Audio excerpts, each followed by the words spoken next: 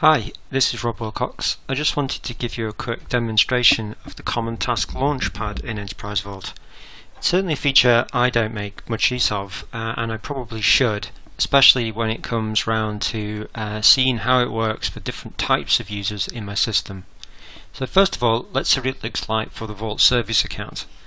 You get to it in the Vault Admin console by going and expanding the directory node, and then click on the name of your site and the common tasks here are shown for my Vault Service account as I said. So as you'd expect there's pretty much every task imaginable under here.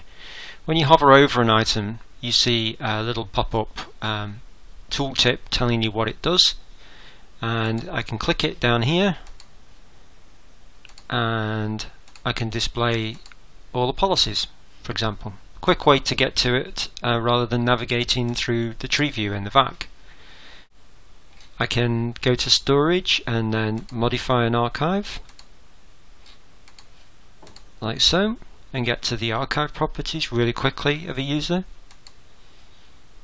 and so on. There's there's several groupings that you can see here and each of them have got you know different tasks underneath each of them so I can run a particular task for example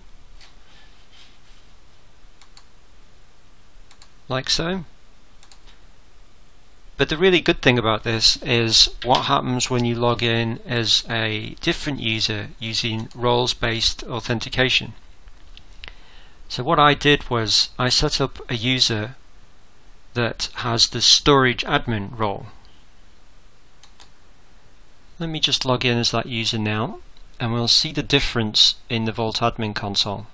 So here I am in the Enterprise Vault admin console again. This time as my storage admin user, so I don't get any of the mailbox management type stuff, but I do get all the things related to the storage admin role.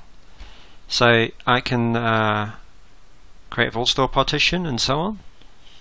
And as you can see, this limited list means that I can't do any uh, damage to the rest of EV. This is also reflected again in the tree view. But with the Common Task Launchpad, you can get through to the things that you want to do really, really quickly. I hope the video has been helpful to you. Thanks very much. Bye bye.